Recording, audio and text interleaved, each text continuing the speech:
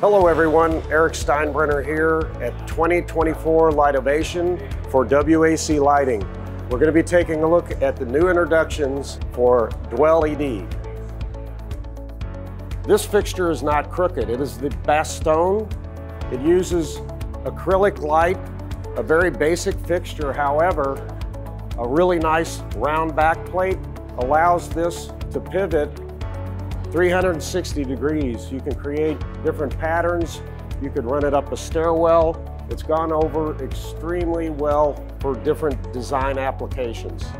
The Cabot is a very interesting fixture that actually has an accordion effect to how it can be adjusted all the way out to 48 inches. The omnidirectional light in each ring really throws the light out into the room, but you can reconfigure the fixture into all different shapes.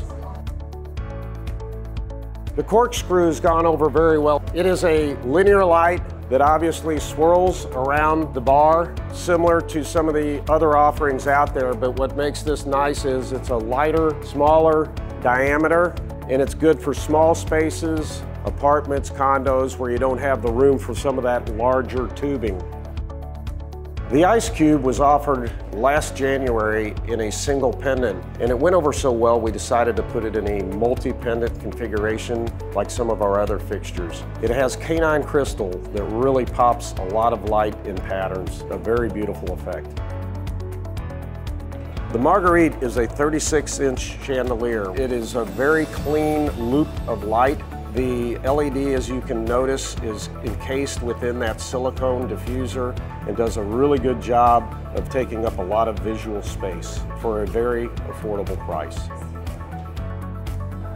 The Moon Glow is a 7-inch round sconce in black or white, but what makes this really interesting is that you can shift these in all sorts of different directions and patterns with that indirect light and it just creates a very interesting effect.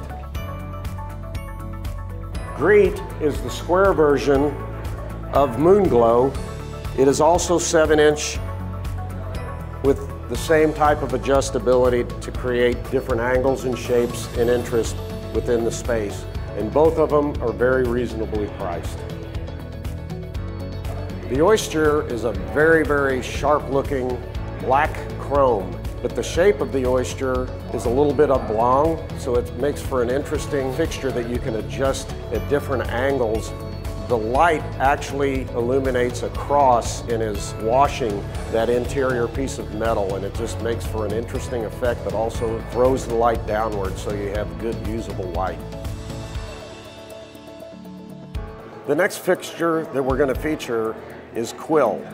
This is a very nice fixture that is very rich looking in its glass presentation. It has a V-shaped ridged glass with an uplight as well as downlight feature that produces a lot of lumen output depending on how many pendants you put on a square, linear, or round configuration.